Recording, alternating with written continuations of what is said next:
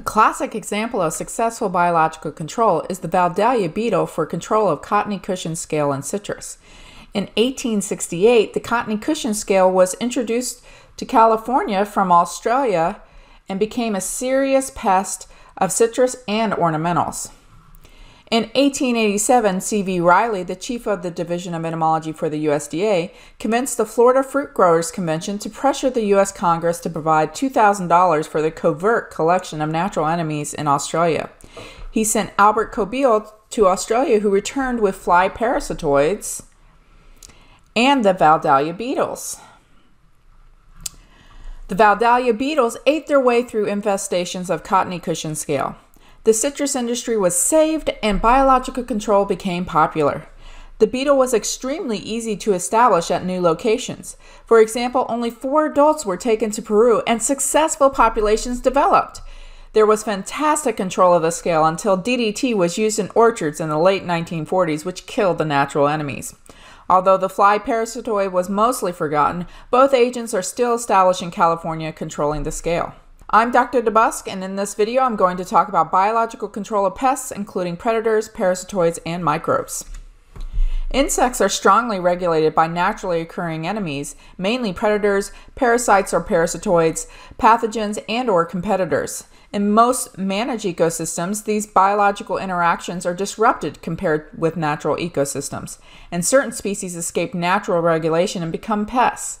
In biological control or biocontrol, Human intervention attempts to restore some balance by introducing or enhancing the natural enemies of target pests. One advantage of natural enemies is their host specificity, but a drawback is that they do not eradicate pests. They may not completely eliminate all economic consequences, but they can reduce the pest population below the economic threshold. Classical biological control involves the importation and establishment of natural enemies of exotic pests and is intended to achieve control of the target pest with little further assistance. This form of biological control is appropriate when insects that spread or are introduced, usually accidentally, to areas outside of their range become pests mainly because of the absence of adapted or co evolved natural enemies. Besides the Vedalia beetle, other successful introductions include wasp parasitoids of the cereal leaf beetle, parasitoids of the alfalfa weevil, carabids of gypsy moth suppression, and many more. Despite the many beneficial aspects of this control strategy, negative environmental impacts can arise, such as agents that fail to control pests and exasperated pest problems where the agent becomes a pest. Some may feed on native insects rather than their intended target.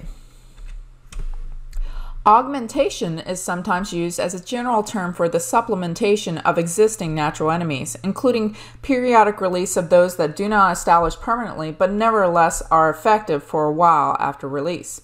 Periodic releases may be made regularly during a season so that the natural enemy population is gradually increased to a level where pest control is very effective. Augmentation or periodic release may be achieved in one of two ways inoculation or inundation. Inoculation involves the release of small numbers and may be made as infrequently as once a year to reestablish a species of natural enemies killed out periodically due to unfavorable environmental conditions. For example, trichogramma and encarsia wasps are mass reared and released into greenhouses where their progeny provides season long control. Inundative re releases involves mass releases of natural enemies at frequent intervals to suppress the pest population. Clear examples of this are entomopathogens such as certain bacteria and fungi used as microbial insecticides. Augmentative releases are particularly appropriate for pests that have good dispersal abilities with high reproductive rates, features that make them unsuitable candidates for classical biological control. Conservation biological control is another broad strategy for biological control that aims to protect and or enhance the activities of natural enemies and reduce the effects of pests. In some ecosystems, this may involve preservation of existing natural enemies through practices that minimize disruption to ecological processes. This may include reducing or ceasing insecticide use that interfere with predators or parasitoids. This may include environmental manipulation by altering the habitat available to improve conditions for their growth and reproduction by providing shelter, including overwintering sites, and providing alternative food or oviposition sites. For example, flowering plants such as sesame can be planted close to rice crops in Asia to provide a nectar source for parasitoid wasps that attack brown plant hoppers. Similarly, the effectiveness of entomopathogens of insect pests sometimes can be improved by altering environmental conditions at the time of application, such as spraying a crop with water to elevate the humidity during release of fungal pathogens. Entomophagous arthropods may be predatory or parasitic. Most predators are either other insects or arachnids, particularly spiders and mites. Predatory mites are important in regulating populations of phytophagous mites, including the spider mites. Some mites that parasitize immature or adult insects or feed on insect eggs are potentially useful control agents for certain scale insects, grasshoppers, and stored product pests. Spiders are diverse and efficient predators with a much greater impact on the insect populations than mites particularly in tropical ecosystems. The role of spiders may be enhanced in IPM by preservation of existing populations or habitat manipulation for their benefit, but their lack of feeding specificity is restrictive. Predatory beetles like ladybugs and lacewings have been used successfully in biological control of agricultural pests, but many predatory species eat a diverse amount of insects and are inappropriate for targeting particular pest insects.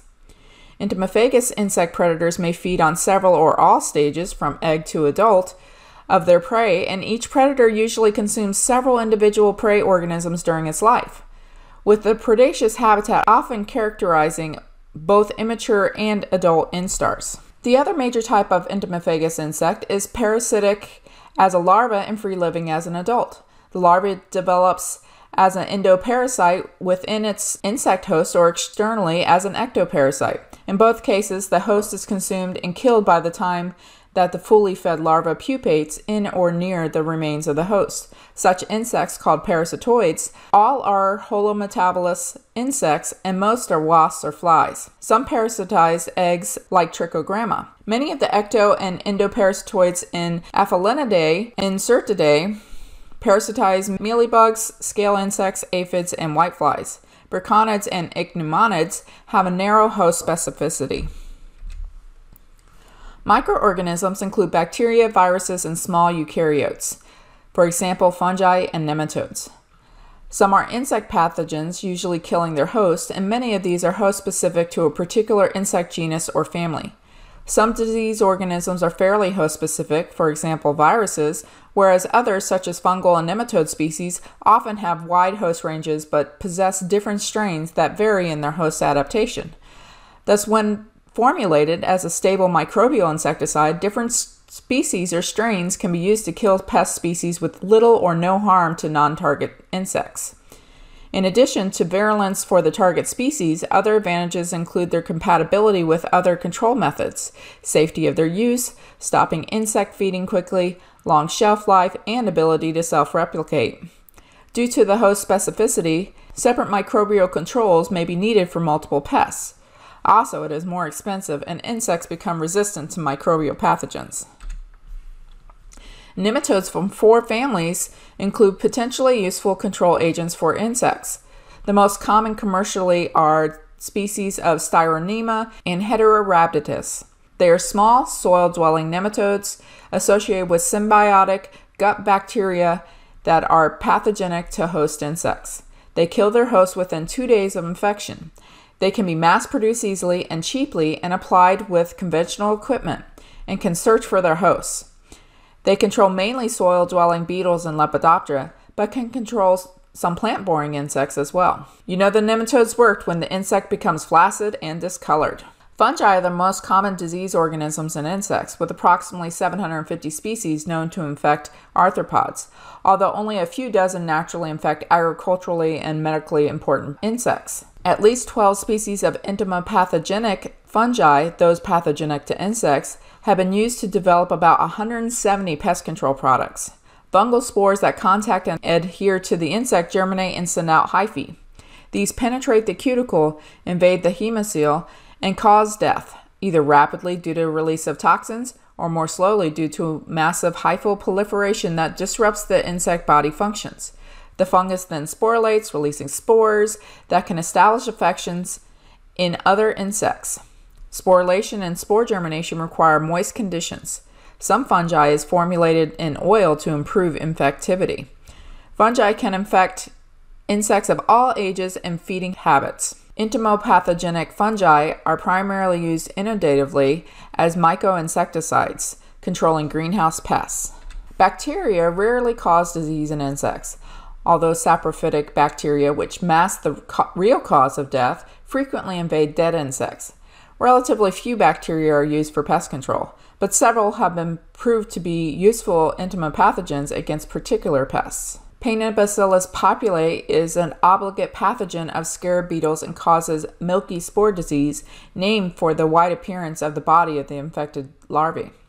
Ingested spores germinate in the larval gut and lead to septicemia. Infected larvae and adults are slow to die, which means that P. popilliae is unsuitable as a microbial insecticide, but the disease can be transmitted to other beetles by spores that persist in the soil. Thus, P. popilliae is useful in biological control by introduction or inoculation, although it is expensive to produce. The strains of Bacillus thuringiensis, also called BT, have a broad spectrum of activity against larvae of many species of Lepidoptera, Coleoptera, and aquatic Diptera, but can be used only as an inundative insecticide because of lack of persistence in the field.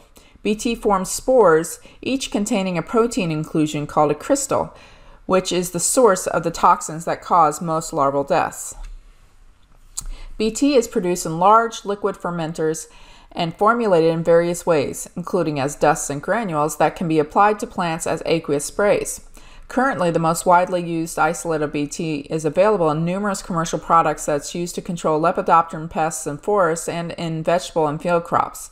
Effective control of insect pests by BT depends on the following factors the insect population being uniformly young so as to be susceptible, active feeding of insects so that they consume a lethal dose, evenness of spraying of BT, persistence of BT, especially lack of denaturation by ultraviolet light, susceptibility of the strain, and formulation of BT for the insect target. Many viruses infect and kill insects, but those with potential for insect control are from just three viral groups all with protein inclusion bodies, which enclose the virus particles. These occluded viral species are considered safe because they have been found only in arthropods and appear unable to replicate in vertebrates. The useful entomopathogenic groups are the nuclear polyhedrous viruses, granulosis viruses, both belonging to the baculoviruses, the cytoplasmic polyhedrous viruses, CPVs, and the entomopox viruses, EPVs. Baculoviruses replicate within the nuclei of the host cells, whereas the CPVs and the EPVs replicate in the host cell cytoplasm. Baculoviruses have DNA genomes that are found mostly in endopterygotes, such as moth and beetle larvae, which become infected when they ingest the inclusion bodies with their food. Inclusion bodies dissolve in the high pH of the insect midgut and release the virions. These infect the gut epithelial cells and usually spread to other tissues, particularly the fat body. This causes the larvae to become limp, black, and die. For certain pests, viral insecticides provide feasible alternatives to chemical controls, but several factors may restrict the usefulness of different viruses such as the cost to produce the virus since the host is needed, as well as inactivation by ultraviolet light. In conclusion, biological control is a useful strategy in integrated pest management. Predators, parasites, or parasitoids and microbes can be purchased and applied as part of that strategy.